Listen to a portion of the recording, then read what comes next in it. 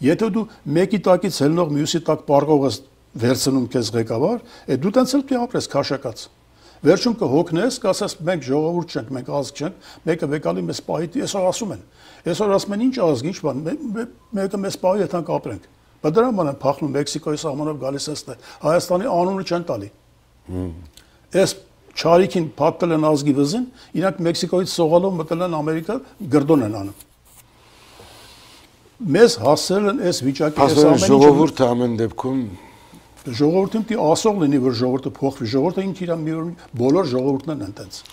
Բայց ինչու չեն ասում։ Շատերը կան, որ ձեր նման գիտեն, ինչի չեն ասում։ Դե ասացի, հազար մի պատճառներ կա։ Առաջինը, որ ուժ չունեն, ֆինանսներ չունեն, մնացած հատվածին փչացրել են, սպորտերներ չունեն, մեջների մարդ չկա կանգնող, այսինքն ժողովրդին օր-օրի, տարի-տարի, ժամ-ժամ այնքան են փչացրել, որ այդ մարդիկ չեն կարողանում իրաց համապատասխան մասսաճ արել իրենց տիկունք։ Չնայած էլ եմ ասում, անհնար չի, հնարավոր է, եթե 10 հոգի, 20 հոգի հավատան գան իրար կողք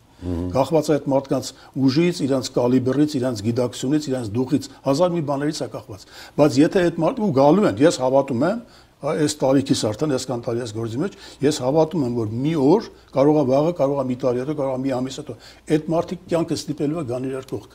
Նորեն ժամանակ է ժողովուրդը կհասկանա, որ ինչեւ հիմա իրան ոնց են խապել, ինչու են խապել ու ինչ են բերել իր գլխին, որ սրանք ուրիշ տեսակի մարդիկ են։ Այդ օրը մի օր սկսելու է, հայ ազգը չի ոչնչանալու։ Կարող է նորից ստրկացման փուլ սկսվի, նորից անկախության հարց բարձրացվի, նորից նորից հայեր միացում սկսվի, բայց մեկը սկսվելու է։